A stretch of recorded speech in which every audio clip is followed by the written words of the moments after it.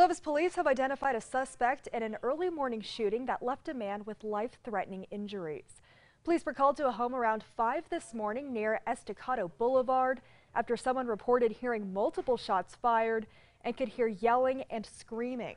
Officers found 29-year-old Brandon Brooks with multiple gunshot wounds.